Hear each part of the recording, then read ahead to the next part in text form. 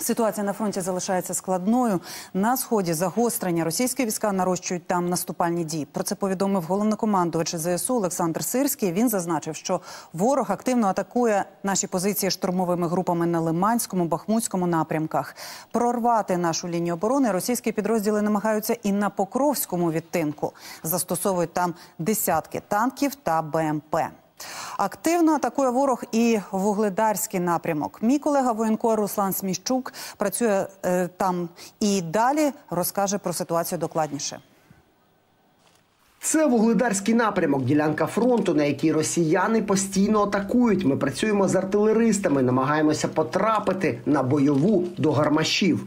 Дістатися зараз е, до позиції це окрема пригода. От е, вже при під'їзді до замаскованих артилерійських позицій розвідка побачила в небі російський безпілотник, розвідник зала. Тож зараз е, перечікуємо під деревами. е, Не можна засвітити позицію. Ну і от е, тут так досить гучно. Згодом російський БПЛА зникає, і ми добираємося до позицій. Це одна із численних посадок в степу, переорана російською артою та ракетами. Ретельно замаскована гаубиця М777 західного калібру 155 мм.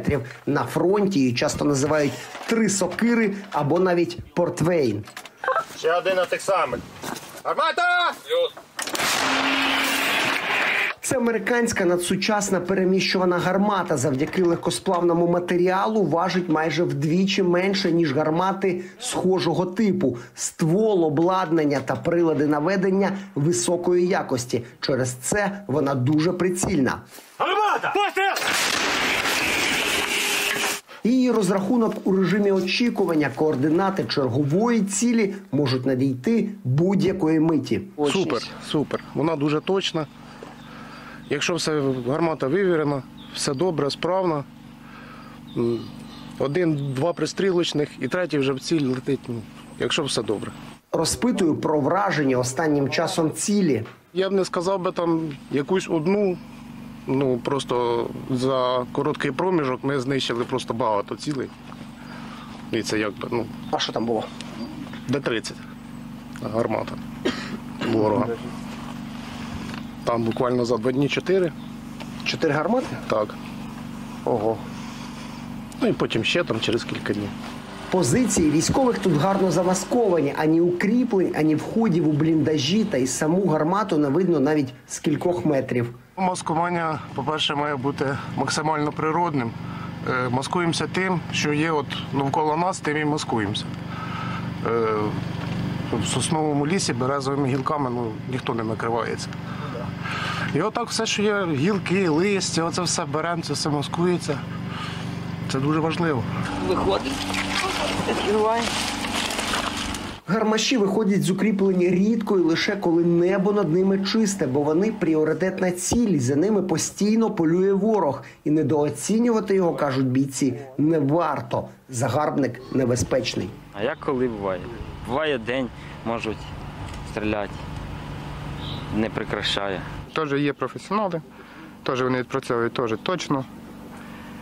Е, Не то, що, що це, як говорять, є, є в них люди, які теж стріляють. І ось з неба знову загроза. Треба, щоб Це що значить? Включайте, треба ховати. Плюс, плюс.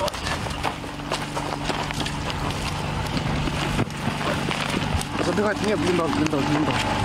Ну от зараз розвідка е, побачила знову побачила в небі російську залу. Це БПЛА, розвідник, який бачить досить далеко і багато. І тому всі знову сховалися в закриті місця в укриття. Спілкуючись з цими бійцями і дивлячись на їхній побут, розумієш, навіть тут, коли постійно стріляють і життя щомиті висить на волосині, вони прагнуть жити з комфортом, щоб усе було майже як удома. Ретельно замаскована позиція в небі російські безпілотники, періодично прильоти і досить близькі. Але українці не були б українцями, якби навіть у таких умовах не виростили прямо тут напередку зелененьку цибульку. І, схоже, все, що нагадує про домівку і рідних людей, надає цим чоловікам сил та мотивації. Хочу передати привіт своїй сім'ї, своїм близьким, е, саме головне своїй коханій, яка мене підтримує. Е, Я тебе дуже сильно люблю і хочу передати привіт своїй донорці, Міланочка. Я тебе дуже сильно люблю. Наскільки важлива підтримка рідних? Дуже важлива підтримка. Підтримка грає вирішальну роль. Бо коли ти далеко від дому, ну, дзвінок рідних це саме головне. Попри втому, попри небезпеку та загрозу, ці бійці хочуть якнайшвидше вибити ворога з рідної землі. Гармата! Зі східного фронту Руслан Смещук, Василь Дендін та Віталій Більський. Подробиці телеканал Інтер. Марафон єдиних новин.